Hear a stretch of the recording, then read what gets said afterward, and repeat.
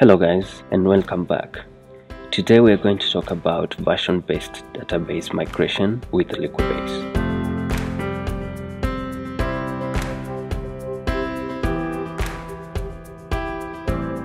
Creating database seems to be easy when you don't have to support multiple versions of your database or work with huge teams. You just create an SQL script from your database model and then execute it manually or use JPA to do that automatically. However, if you're working on multiple database versions, this approach won't work and extracting the required changes from the test database becomes a huge mess, especially if you work in a team and number of changes increases. This can be avoided by creating database update script while working on the next release and save them along with your code in Git or any other version control system. Whenever someone gets the code changes, they will also get the database update changes. And with a tool like Liquibase and Flyway, the changes can even be applied automatically. In this tutorial, we are going to look into Liquibase as a way to perform database migrations. Liquibase is an open source database independent library for tracking managing and applying database schema changes. Here are some of the benefits you get with Liquibase. First one is automatic updates. This is very useful especially when you have multiple database instances running, example staging, testing, production. This can be applied automatically whenever you make any changes on the database. The second one is automatic creation and execution of rollbacks whenever there are failed updates. Liquibase manages and records the changes in your database schema by applying diff of the current schema and the final schema. If there is a failed update during execution, then it rolls back to the previous update. There are different supported formats in Liquibase, including XML, JSON, YAML, and SQL. If you're working on an application with multiple releases, in most cases, one file for each release is created called changelog. One changelog may contain one or more change sets. We are going to look into changelog when we get into code. A change set describes a set of changes that database executes within one transaction. To enable successful rollbacks and keep track of executed change sets, each change set is identified by an author name and ID. These are stored together with the name of the changelog file in the database changelog table as a unique identifier of each change set. The change sets could be anything related to the database changes for example, create a table, insert into a table, alter a table, and so on. Let's get into code and see how we can apply this. So go to your editor and start a new project. Go to create a new project, choose Spring Initializr, and then go to next. On this, you can choose your group name. I'll say Dickson artifact, Liquibase demo but next in here we want to choose uh, some dependencies. Go to web choose spring web ops for spring boot actuator. Go to sql choose liquibase migration h2 for h2 database and mysql driver. Go to next. Finish so we are here on IntelliJ. First thing we go to the POM file. Let me reduce this. Enable auto import changes. And then on this file, we want to add another plugin for Liquibase. Plugin uh, group ID org.liquibase. Then the artifact ID Liquibase maven plugin and now we need to do the configuration here so that it automatically uh, picks the location of our file which is application.properties so we add property file. Which will be source main resources stroke applications dot properties and uh, since we have this we need to overrule the default configuration by adding property will override and we set it to true. Alright? Now we are set. We have h2 we have our liquibase. Make sure it's liquibase core mysql. The next file we are going to create is application.properties so open up source main java and then resources. All right so in case you have flyway you need to add spring dot to true and then spring dot flyway dot to false. But right now we we don't actually require that because we are using liquibase start by adding a name. Let's call it liquibase demo and then we need to add the changelog class path db changelog stroke changelog master.xml now as you notice we don't have this file yet but we are going to create it. First let's finish up with the configuration. Data source url jdbc mysql localhost 3306 liquibase this is my local db i'm using mysql and this is my schema it can be any name. So you can name your schema to anything that you want. So we are going to use mysql driver sql.jdbc.driver and then we are going to add our username and password. So my username is root and here you're going to add your password whatever you added as a password to your local database. For me i'm using mysql workbench. So whatever password is there you're going to put it here so that you connect to your database. And then we are going to set hibernate to none. And then last thing we're going to set h2 console to true. All right now we are done. We're going to create our changelog master file. I'll just copy that and then right here create a new file. Click ok. And then to populate our data in changelog master we need to have the template. So instead of typing the template from scratch, I'll go to www.liquibase.org stroke best practices.html and right here I'll have the template. So I'll just copy that then paste it there then delete two files and now I have one include file which we don't have yet but we are going to create it. For this one db.changelog and the version number. As I told you earlier you need to create different files for different versions so that it's easier for someone to read. I'm going to change this to changelog and then the version I keep it as version 1.0 and now we need to create this file copy that I create a new file and that's it. And now this is where you can place your changes. In the same way I'm going to copy the template and paste it right there. Close that. And now this is the place that we are going to add our change set. Alright but before we do that we need to confirm that we are connected to a database. So I'm going to add my password right here and then come back. Alright so we're done so we can close this file. And now we have this but to make sure that we are connected to the database successfully we can use JPA to add data into our database. And with that way we can confirm that our database is alive and it's working. And from there we can use liquibase now to make the changes automatically. Let's go ahead and create a new file. We are going to start with controller. On controller make sure that you are annotated with REST controller and then add request mapping. This is the URL route that you are going to use. So right here we are going to add public method for string and then create person at request param string name person repository dot save Alright, we don't have the repository, so we have to create the repository first. Private person repository. So let's create this file. Person repository.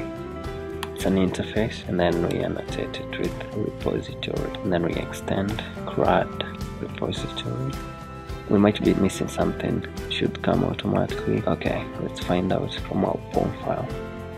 Alright yeah we need to add one more dependency for JPA spring boot starter JPA from org spring framework dot boot. Alright there you go. Let's go ahead and try again. So CRUD repository. And there you go. And then here we need to pass person as our entity int but we don't have person yet so let's go ahead and create that file.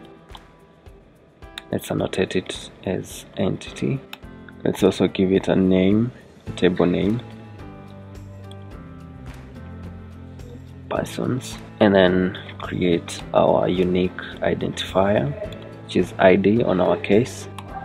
Annotate it with at id and auto generate add our strategy generated type we want to change auto to identity but if you're using spring boot 1 point something then it's okay to use auto but i'm using spring boot 2.2 I'm going to use dot identity to show that it's a unique identity for this particular entity. Alright, at the same time, we want to annotate this as a column. Let's give it a name, ID. Let's go ahead and create another column called name and probably height or anything. So this will be column and this at column as well. And then let's go ahead and create our constructor. And then again create an empty constructor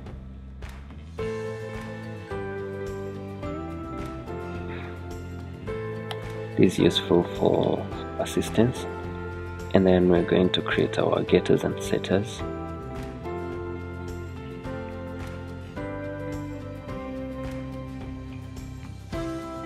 Alright now that we have everything set up we can go back to our repository. Uh, so this should be integer done. And now we have our repository. And then we want to add our personalized query which is not part of the CRUD go ahead and create it. At query select name from person. P give it an alias where p dot name like the name that we are going to pass person name and then we close it. And now this is our method. Find by name. Going to pass in string person name and that's it so we can close our repository and then go to our controller. We want to save person first before we can retrieve them.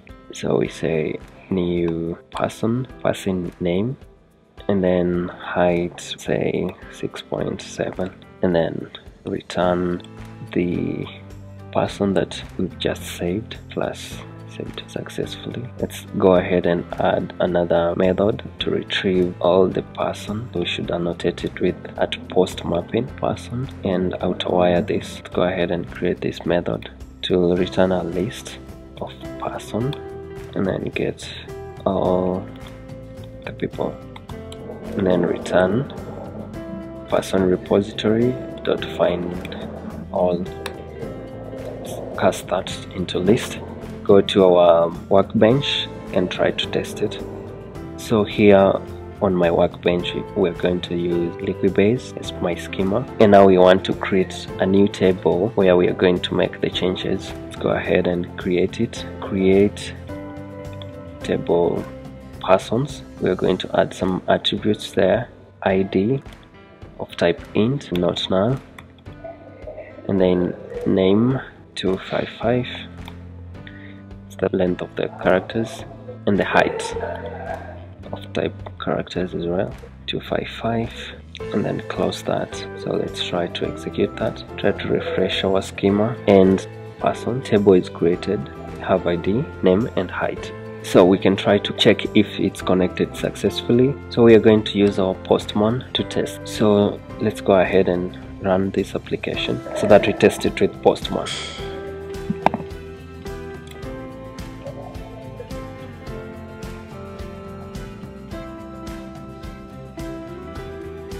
so we got an error here saying class path resource cannot be resolved.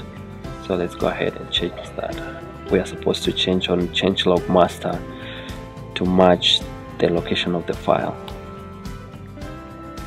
Let's go ahead and try it again. Now we can go to our postman and give it a try. So person see if it works. Person and then change this to post and then we add a name. Name equals to Clara. And Clara saved successfully. In case you get an error so make sure the ID is the primary key and you can tick auto increment apply. Alright so if we try to retrieve all saved data we have Clara and height is 6.7 now we, we are sure that our database is connected well and you can see we only have one entity.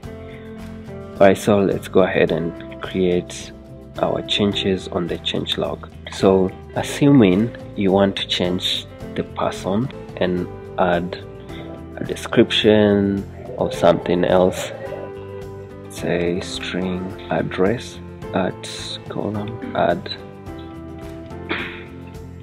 our get and setter. If we go to postman and try to add another person fidelis let's change that to post. So if we try to retrieve all the people you'll still get name and height but what if you want to change that and add this column address? We're going to our change log file and add a change set id one author add column table name is persons and column. We need to also add a schema. My schema is the liquibase and then the name of the column address and the type.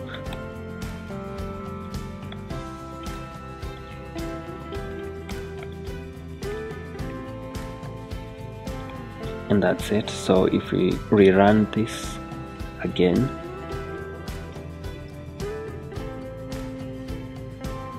and go to our postman and try to execute the post command again let's change name to Miriam sorry let's change this to post. Miriam saved successfully. So if we try to retrieve that now we get address with a null value since we haven't added anything. So that's adding a column. So now let's try to delete. So change set id 2 should be unique id the author can be the same or different according to the team. Say delete name schema table name persons schema name schema name liquibase and then where clause name equals to fidelis. All right let's try to rerun again. Awesome. Fidelis is deleted. So that's it guys. You know how to add change set and you can insert a row you can create a table. You can do whatever you want with this change log. And if you want to add another version you just add another file and then add it on changelog master thank you and subscribe to my channel if you haven't